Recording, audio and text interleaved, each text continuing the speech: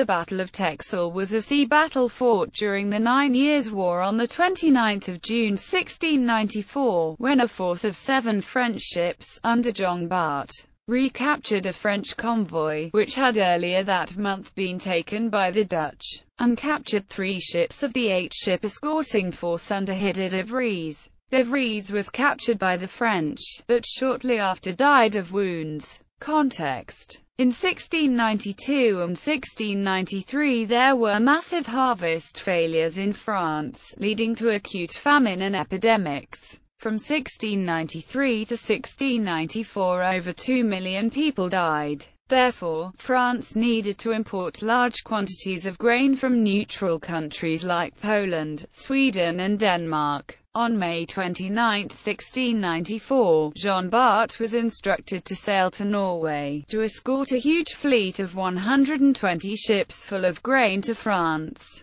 The convoy didn't wait for the arrival of Bart's squadron and left under the protection of three neutral warships. The battle. The convoy was immediately captured by the Dutch without a shot being fired. Jean Bart searched for the convoy and found it on June 29 at 3 a.m., before the Dutch island of Texel. Despite having fewer guns than the Dutch, at 5 a.m., Jean Bart attacked the Dutch flagship of Hidde de Vries. After a fierce battle which lasted only half an hour, the Prince Frisse was captured, with Hidde de Vries severely wounded and taken prisoner. Two other Dutch ships were also taken, with the remaining five fleeing to their harbour. The Dutch losses amounted to 100 killed, 129 wounded and 455 prisoners. Jean Bart repaired the damage to his ships and took the convoy to Dunkirk, where it arrived on July 3, received by an enormous crowd celebrating their hero.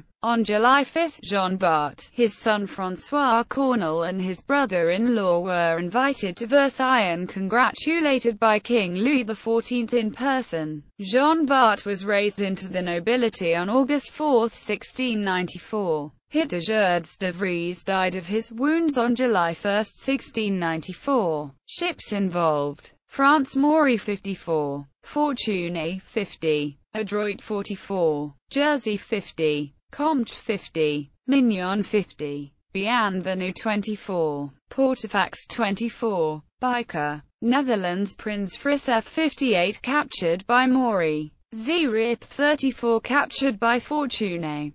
Statenland 50 captured by Mignon, Amalia 58, 54, 50, 50, 40, 120 or more merchant ships, captured that day or soon after.